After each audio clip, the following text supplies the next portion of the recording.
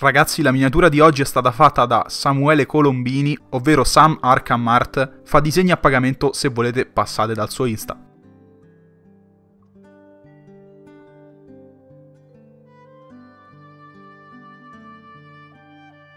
Ragazzuoli cari, bentornati ad un nuovo video sul mio canale. Oggi siamo qui per portare la dodicesima puntata di Dragon Ball Prime 2. Prima di iniziare però, come al solito, voglio darvi delle notizie importanti. Chi ha visto anche il video di ieri, dove parlavamo di Godex e della sua situazione, ha anche ascoltato, credo, che domenica voglio registrare due video con una ragazza. Niente, io spero che vi piaccia. Avevo intenzione di fare qualcosa su Xenoverse con lei, non so, magari fargli scegliere i bei personaggi a lei, brutti a me, e giocavamo. Io ovviamente giocavo con la tastiera, che sono mezzo impedito con la tastiera, e lei col joystick, che è facile pure per mio nonno. E poi magari fare un FAQ e un'intervista doppia. L'intervista doppia non ne sarei troppo sicuro per il semplice fatto che l'attrezzatura che ho, come ad esempio il green screen, devo ancora provarlo bene bene. Comunque sia ragazzi, io vi invito a lasciare delle domande qua sotto al video che poi andremo a leggere mentre registreremo il video, che sia o un'intervista doppia o un FAQ. Certo, se è un'intervista doppia poi le adatto io. Comunque sia, basta l'hashtag FAQ e noi andremo tranquillamente a rispondere, così per me è più facile, raga, se ci mettete l'hashtag trovarle. Possibilmente, ragazzi, fatele meno sconce possibili, perché comunque per una ragazza che è la prima volta che viene sul canale, dopo No, in realtà ce n'è già stata una che però comunque è l'ex mia, ma sti gran cazzi, non, non me la inculo più. Vi chiedo solamente di non fare domande sconce, ecco, perché non credo che le prenderò in considerazione. Però, roba intelligente, roba che mi fa durare video, così posso monetizzarlo. O meglio, posso mettere pubblicità. E niente ragazzi, detto questo, iniziamo a parlare di Prime. Abbiamo visto che l'ultima volta, purtroppo, Noctis ha invaso la Terra. Piccolo sta combattendo contro Tarles, Vegeta è ancora svenuto a terra e Goku sembra che abbia ucciso Radish. Sarà così? Il gruppo di Bra invece è finalmente riuscito a portare Gideon a riparo. Mentre vediamo Noctis, Okra e Toma che rispettivamente si preparano a combattere Gast, Zaiko. E niente ragazzi, detto questo vi lascio al video.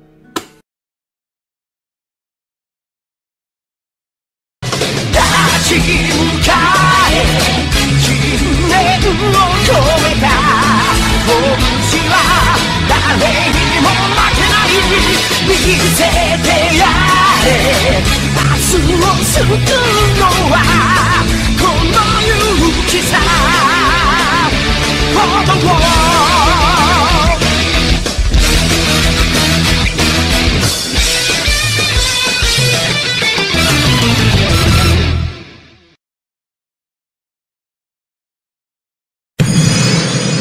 Tarles sta portando alle strette Junior, cercando in tutti i modi di farlo stancare di contrattaccare, aumentando sempre di più la sua velocità. Junior è preso veramente alla sprovvista dagli attacchi di Tarles, che continua a colpire con le sue combo rapide, senza avere intenzione di fermarsi. Il Namecciano allora fa esplodere la sua energia, guadagnando tempo. Non avrei mai immaginato che Saiyan Elite significasse avere tutto questo potere. Goku, avendo sconfitto Radish, sta osservando il combattimento, fin quando non nota che Tarles, a sua volta, ha percepito qualcosa. Per un momento Tarles si ferma e anziché concentrarsi su Junior, guarda da tutt'altra parte. Il Namecciano, sentendosi messo da parte allora, ne approfitta per caricare il suo Macanco Sappo, un colpo che nella posizione in cui si trova Tarles diventa letale. Dalle macerie però, in quel momento, sbuca Radish ferito, con una velocità sbalorditiva, senza neanche dire nulla, si porta davanti a Junior e prima che il Namecciano possa lanciare il Macanco Sappo, gli stacca di netto il braccio con un colpo potentissimo. Goku a quel punto si arrabbia e prova ad intromettersi, ma Tarles lo blocca avvisandolo. La tua morte per il momento verrà solamente rimandata. Radish, andiamo e prendi Nappa con te. Il nostro signore sembra essere arrivato.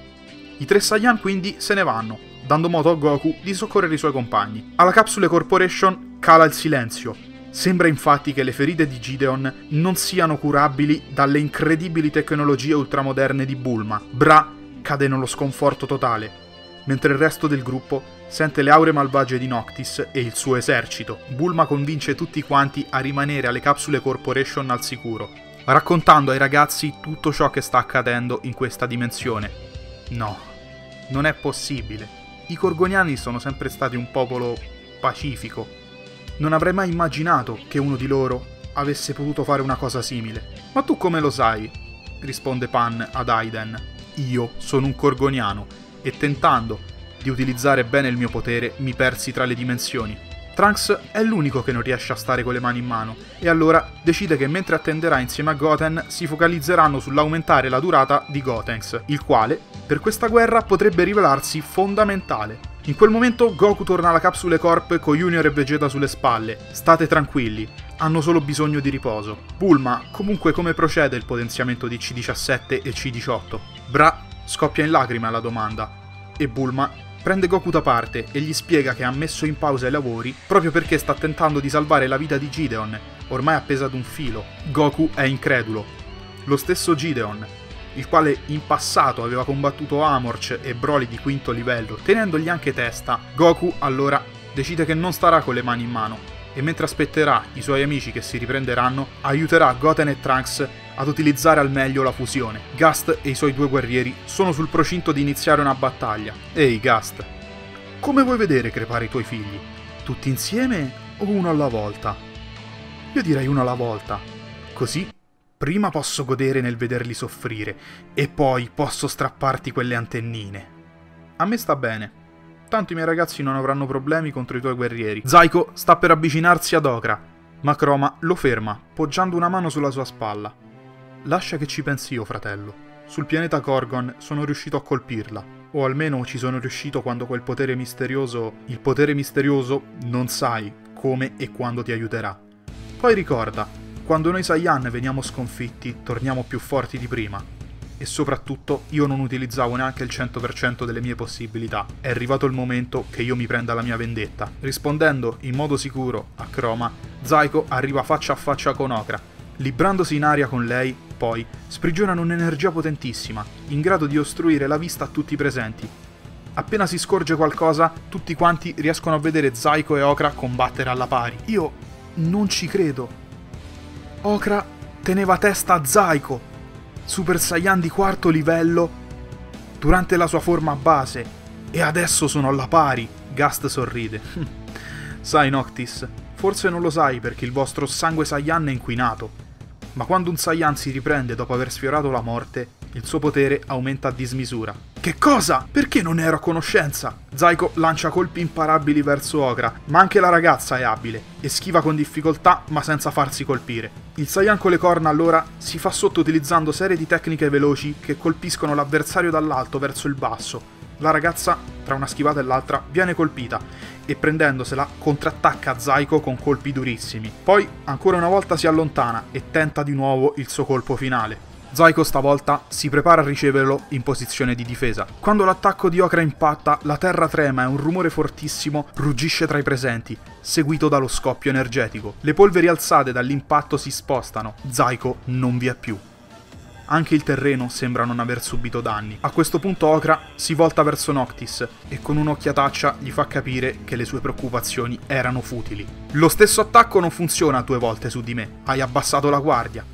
Zaiko è ancora vivo e prende di sorpresa Okra, facendole pagare cara la sua superbia. Adesso, per la Saiyan, è molto difficile ricomporre la sua guardia, anche perché Zaiko continua a infierire sul suo corpo con una velocità innata. Te lo avevo promesso che mi sarei vendicato e adesso sparisci. Delle sfere di energia colpiscono Okra, facendola sparire nelle esplosioni, ma proprio quando sembra che la ragazza stia per cedere, fa esplodere la sua aura e allontana i colpi energetici di Zaiko. Saiyan, io ti giuro che per quello che mi hai fatto ti strapperò le corna con le mie stesse mani. L'aura di Okra sembra ingigantirsi e il suo potere genera onde d'urto che scoppiano a contatto con l'aria. La fuligine data dallo scontro sparisce. Vieni avanti ora, dimostrami la tua vera forza. Se non sarà abbastanza, ti lascerò a terra, ferito a morte, e davanti ai tuoi occhi ammazzerò Chroma, in modo che tu possa soffrire ancora di più vedendo il tuo fratellino crepare. Zaiko è spaventatissimo, ma non demorde. La sua paura, infatti, si trasforma in ira quando viene minacciato Chroma. Ok, brutta strega, ora faccio sul serio. Anche su Korgon non ho dato il massimo, tutto quanto per un fattore sorpresa. Ora preparati, nessuno tocca la mia famiglia.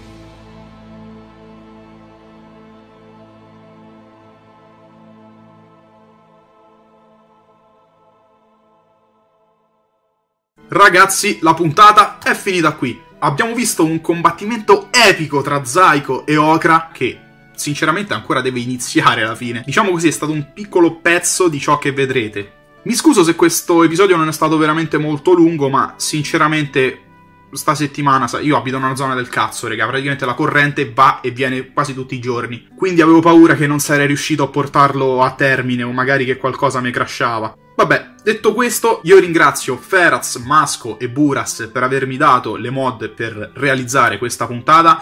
Spero che il video vi sia piaciuto, iscrivetevi al canale se non l'avete ancora fatto, non dimenticate di attivare la campanella per non perdervi nessuno dei miei video, noi come al solito ci vediamo ad un prossimo video.